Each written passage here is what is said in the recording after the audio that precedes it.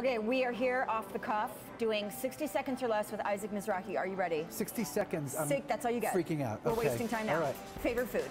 Ice cream. Um, pet peeve? Pet peeve is lying. Liars. Strangest thing in your fridge right now?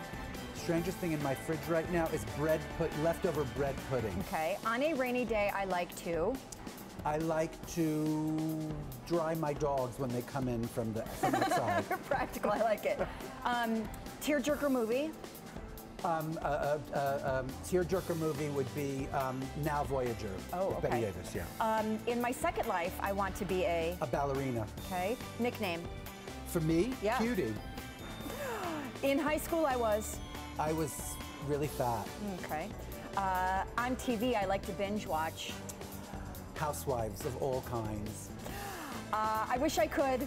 I wish I could do some incredible thing for the world that isn't just like appear in places. Like I wish I could go to like a soup kitchen and sort of cook lunch. Like solve a up. world yeah, problem. solve a world problem. Um, I'm afraid of.